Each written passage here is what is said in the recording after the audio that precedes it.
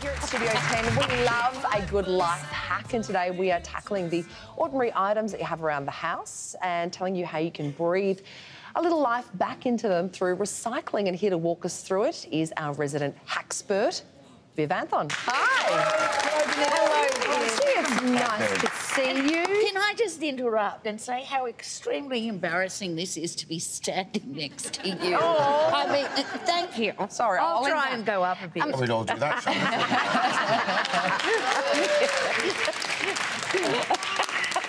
Sorry, Viv, Adorable. please. Um, can we talk through this? You can stand up. Oh, sorry.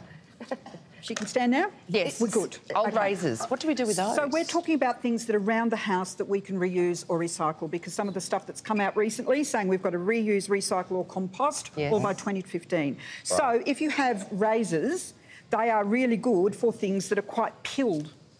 Quite now, what? Pilled. Pilled. Pilled. You know, little But balls. Little Oh, bubbles. Yeah, bubbles. Oh, we call them bubbles in England. Bubbles. Yeah, bubbles. Okay, well we call them Pills. Do you want to, sounds do you like want a something hand? else. or help probably spread it even little balls, whatever way you want to go. Don't But- say that to Stephen. No, but what you do is you get your razor, obviously not your razor that you've just used for the first time, and you just go like that. And what it does is it just takes the pills off it. Do you have to go against the grain or You with go the against grain? the grain. See how that's coming off oh. there? And it's mm. all collecting there. So all of that stuff is coming off. And remarkably, it's actually quite safe. So that's a good one because because razors tend to congregate and breed Oh, if you're not yes. looking. so Yeah, this is a great use for them. It's like Fantastic. shaving your clothes. In It a is like shaving your clothes. That's Yeah. right. No aftershave needed, but that's a great little tip. And what about, um, I believe you've got some magic to weave with butter containers. I is do. this true? It's true. It's true. Could you pass me the green container? This is one you want to take home. You want to take this one home. There you go. But see this? I I actually save. Excuse me, pilly thing.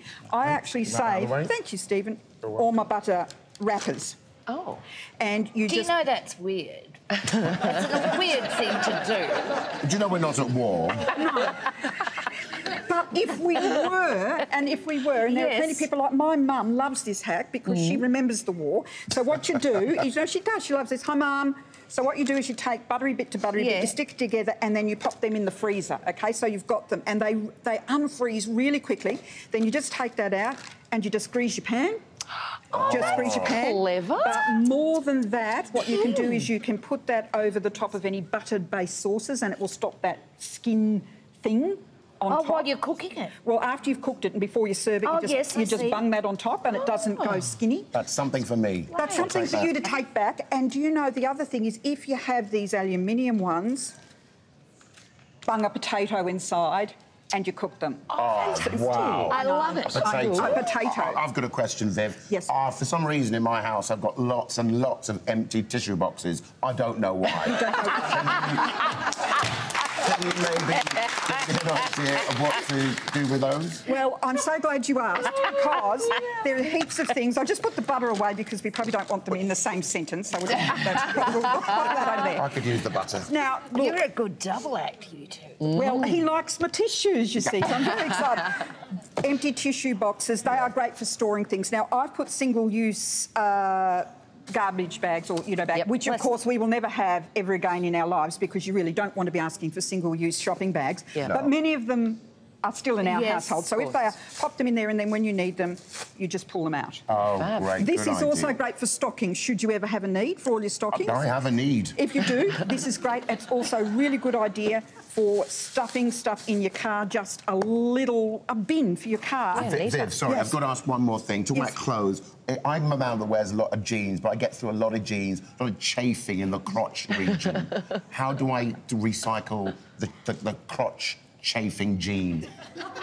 Remarkably, I have been asked that before. and uh, I would say what you do is you actually unpick it and use the material. And you can use um, denim material for heaps of things. You can even use it for gift wrapping if you want to. You can use it um, Oh, for not quilting. the crutch. Well, it depends the gift you're wrapping, doesn't it, really? and what about the tubes? The, the, the tubing. in- Cardboard tubes? That's it. Cardboard tubes. I, I love cardboard tubes. I absolutely love them. And there's heaps of things you can do with them. Did you know? I can think of quite a few with this one.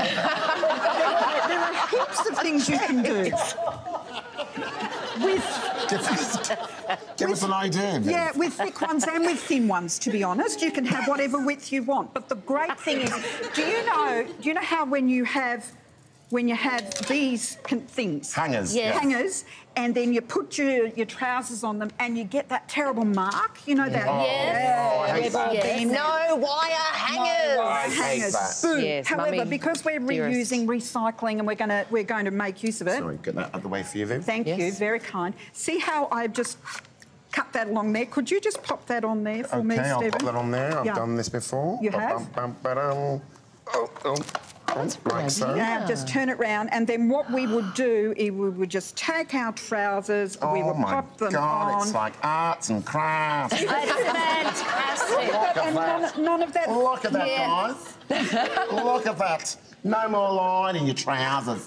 No more line in your trousers. But if you like that, you'll love this oh. because Oh. how many of us have our cords lying round? Oh, cords. Cords. So many. Oh, Not our trousers. trousers. Not your trousers. That is your own business, not your trousers either. Not your cords, but your cord cords. yes, yes, your And electrical cords. And you don't Yes. know you don't know what machine they're from, you don't know who they belong to. Yeah. So what you do is you just take them Yeah. and then you just shove it in one of these. Oh, shove it in. Shove Right, it in. okay. Toilet paper roll. Yes, oh, oh. but it can be any sort of roll cut down. And then you ha- not only do you have it neat and tidy for every day, but you could even write on it if you wanted to the name of the device, who it belongs to, So and what's for. Viv's device. Device, thank you. Oh, you're so clever, Viv. It is great seeing you, and I love your hacks. They're fantastic. I Thank shall you. never look at a cardboard roll No, without again. thinking of Steve. Well, for me it'll be denim, but anyway. Viv Anthony, everyone.